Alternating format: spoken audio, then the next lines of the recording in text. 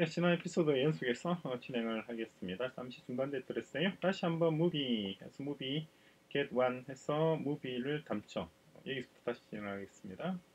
그래서 보시면은 movie 그대로 예쁘게 Friends movie struct가 return되어 있죠. 그런데 만약 여기서 우리가 movie actors 해서 어, actor를 불러오고 싶다라고 하면 안 돼요. 왜냐하니까 actor가 지금 보다시피 not loaded 상태잖아요. 그죠? 그래서 load를 해야지 우리가 얘를 쓸 수가 있습니다. load하는 방식이 바로 이런 방식이에요. 어, 보시면 Repo all 해서 어, from m in movie binding 방식이죠. 그다음에 preload actors 이런 방식으로 하고 그런 다음에 Repo all 다 가져오겠다는 Repo all은 항상 리스트를 return해요. return 되는 게 리스트입니다. 이렇게 그렇죠. 그리고 이걸 그냥 바로 쓰면 안 되고 이렇게 되겠죠. movie 네. 글자가 잘 안 보이나? 자, 조금 더 올릴까요? 조금 더. 됐습니다. 여기 movie 해서 어, 여기다가 이렇게 Repo all 이렇게 해도 안 돼요. 이렇게 해도 안 되고 이렇게 해서 이게 리스트니까 리스트로 pattern matching을 하면 되죠. 그러면은 movie라는 variable에는 뭐가 들어있나요? 그럴 때는 이렇게 보다시피 딱 요게 우리가 필요한 부분 만 들어야 했잖아요. 그죠? 그러니까 이제 여기서 movie 점 actors 하면은 원하는 대로 어우 제가 뭘 잘못 썼습니다. 음, 음. 잠깐만 이거 그냥 빠져나가지 말고 어, 간단하게 처리하는 방식이 있었는데 그 키보드 쇼컷을 잊어먹었어요. 잊어버렸어요. 음, 하나 더 쳐줄까요? 됐습니다. 빠져나왔습니다. 다시 movie 점 actors 그러면은 actors actors 리스트가 return되죠. 이게 이제 two query입니다. 첫 번째 한번 query 이루어지고 movie get one 해서 두 번째 query 여기 이루어졌는데 이 두 개를 합쳐서 하나의 query로 구성한 게 이 방식이에요. 요뭐 차이점을 한번 굳이 지금 우리가 알 필요는 없을 것 같긴 한데 그런 내용 한번 보시기 바랍니다. M in movie고 join을 불러왔을 때 join A in a sub 그 다음에 M actors, preload actors A 뭔가 좀 길죠. 뭐 이걸 외울 필요는 없을 것 같고 그냥 이렇게 퀘리를 만드는구나. 그죠? 음, 그러니까 actors 한 번에 한 번의 퀘리로 뭔가를 불러오려고 하면은 이런 식으로 할 수가 있구나. 라고 정도만 이해를 하시면 될 것 같아요.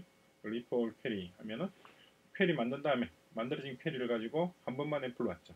그죠?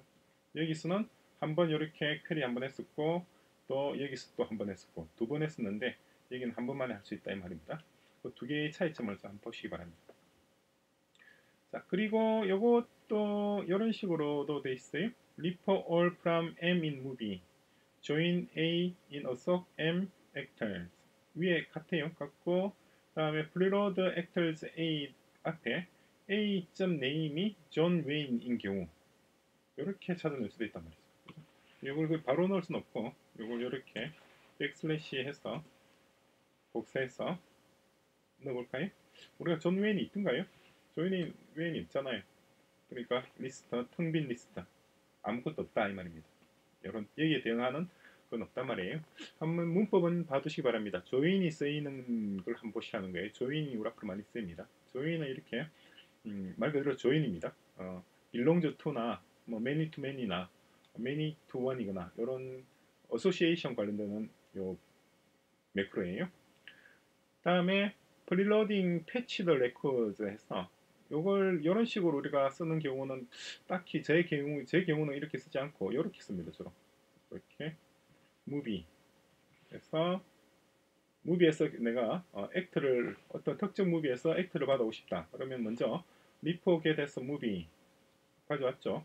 그런 다음에 Repo preload movie.actor 이렇게 다시 한 번 더 같은 movie예요 같은 movie를 다시 엎어쓴 겁니다. preload 된 movie를 만들어내는 거예요. 그죠? preload 된 movie를 만들기 위해서는 일단 불러온 movie가 있어야 돼요. 그죠? 그런 다음에 movie.actors 이게 두번 query하는 것이긴 하지만은 일단은 여기에 어 제가 데이터베이스 전문가가 아니다 보니까 일단 여기 편해요. 그래서 이런 식으로 주로 코딩을 하고 있습니다. 나중에 우리 코딩할 때도 이 방식대로 할 거예요. 다음에 join statement를 조금 더 살펴볼까요? 예제를 해서 이렇게 네, C인 캐릭터 그죠? query를 구하는 겁니다. M의 query이고 그 다음에 M의 ID가 C 캐릭터의 movie ID인 거 그죠? 그리고 어, C의 name이 캐릭터의 name이 웨이드, 웨이드 와트이고 그죠? 그런 데서 어, 이걸 골라내라 이 말입니다. 요거 한번 데이터 과제로 한번 넣어 드릴게요. 여러분 요거 세 개가 실제로 동작하도록 데이터를 한번 넣어 보십시오. 데이터를 넣어서 그런 다음에 요, 요 query를 넣어서 어, 한번 실제로 이 query Repo all 해서 결과값을 구할 수 있도록 지금 우리 데이터에 이런 게 안 들어있죠? 어, 들어있나요? 들어있을 수도 있고 안 들어있을 수도 있는데 없으면 넣어서 만들어서 한번 해보시기 바랍니다. 그리고 얘도 얘는 이렇게 하더라도 같은 의미예요. 그죠? Id c.movie movie id 여기 있는 이거랑 이 표현이랑 여기 있는 이 표현이랑 같습니다. 그죠? join on입니다. join on 이 두 개 세트로 지금 움직이고 있어요. 그리고 자, 이번에는 음, movies 그러니까 variable을 쓰는 경우입니다. 스타가 다섯 개인 별표가 다섯 점, 별점이 다섯 개인 movie들 중에서 어, 그 아이디 그죠? 어, movie 아이디를 해서 웨이드 와트 별점이 다섯 개인 것들 중에서 캐릭터 name이 웨이드 와트인 것을 찾아서 그 영화의 제목과 캐릭터의 이름을 출력하라 이 말이죠. 이것도 동작하도록 한번 여러분 코드를 구성해 보시기 바랍니다. 이 세 가지는 과제예요.